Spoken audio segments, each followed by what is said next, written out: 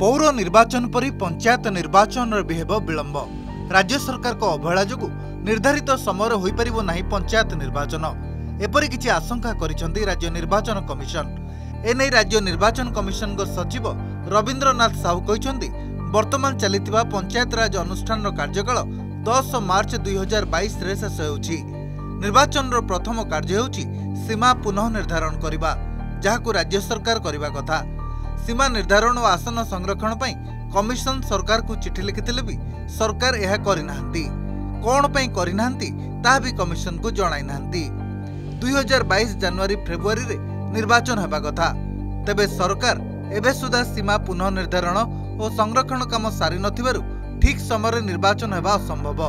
ଆମେ ଗଭର୍ଣ୍ଣମେଣ୍ଟକୁ ଲେଖିଛୁ ଚିଠି ଷ୍ଟେଟ୍ ଗଭର୍ଣ୍ଣମେଣ୍ଟକୁ ଏଇଟା ଡିଲିମିଟେସନ୍ ରିଜର୍ଭେସନ୍ କରିବା ପାଇଁ।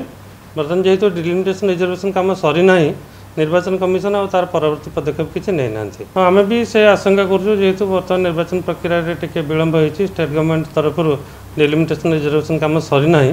ଆମେ ବି ଆଶଙ୍କା କରୁଛୁ ନିର୍ବାଚନ ବିଳମ୍ବ ହୋଇପାରେ ବୋଲି। ସେପଟେ ଏନେଇ ରାଜନୈତିକ ସମୀକ୍ଷକଙ୍କ କହିବା କଥା ପୌର ସଂସ୍ଥାରେ ବର୍ତ୍ତମାନ କେହି ନିର୍ବାଚିତ ପ୍ରତିନିଧି ନାହାନ୍ତି। ସବୁଠି ପ୍ରଶାସକ ନିଯୁକ୍ତି ହୋଇଛନ୍ତି। ସାମ୍ବିଧାନିକ ବ୍ୟବସ୍ଥା ଅନୁସାରେ ଦୁଇ ହଜାର ବାଇଶ ଫେବୃଆରୀରେ ପଞ୍ଚାୟତ ନିର୍ବାଚନ ହେବ ଏବଂ ସେଠାରେ ବି ପୌର ଭଳି ସୀମା ନିର୍ଦ୍ଧାରଣ ଏବଂ ଆସନ ସଂରକ୍ଷଣ କଥା ଉଠିବ। ଯଦି ପୌର ନିର୍ବାଚନରେ ହୋଇପାରିଲାନି ପଞ୍ଚାୟତରେ କେମିତି ହେବ?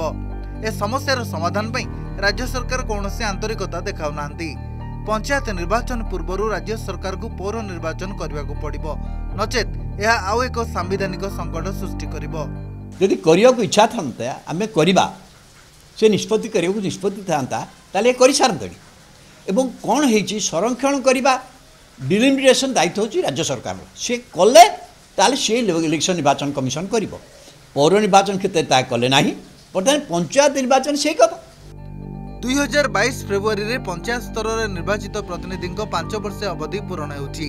ନିର୍ବାଚନ ପୂର୍ବରୁ ପ୍ରସ୍ତୁତି ଆରମ୍ଭ ପାଇଁ ରାଜ୍ୟ ସରକାରକୁ ରାଜ୍ୟ ନିର୍ବାଚନ କମିଶନ ବାରମ୍ବାର ଚିଠି ଲେଖିଛନ୍ତି। ତେବେ ପଞ୍ଚାୟତରାଜ ବିଭାଗ ତରଫରୁ ଏନେଇ କମିଶନକୁ କୌଣସି ଉତ୍ତର ଦିଆଯାଇ ନାହିଁ। ବର୍ତ୍ତମାନ ପଞ୍ଚାୟତରେ ଚଉଷଠି ପ୍ରତିଶତ ସଂରକ୍ଷଣ ରହିଛି। ସୁପ୍ରିମକୋର୍ଟଙ୍କ ନିର୍ଦ୍ଦେଶ ଅନୁସାରେ କୌଣସି ପରିସ୍ଥିତିରେ ବି ସଂରକ୍ଷଣ ପଚାଶ ପ୍ରତିଶତରୁ ଅଧିକ ହେବ ନାହିଁ। ଏହି କାରଣ ଯୋଗୁଁ ଗତ ଦୁଇ ବର୍ଷରୁ ଅଧିକ ସମୟ ଧରି ପୌର ନିର୍ବାଚନ ହୋଇପାରୁନାହିଁ। ସରକାର ସଂରକ୍ଷଣ ଆଳରେ ପୌର ନିର୍ବାଚନକୁ ସ୍ଥଗିତ ରଖି ଲୋକ ପ୍ରତିନିଧି ବଦଳରେ ପ୍ରଶାସକମାନଙ୍କ ଦ୍ୱାରା ପୌର ସଂସ୍ଥା ଚଳାଉଛନ୍ତି।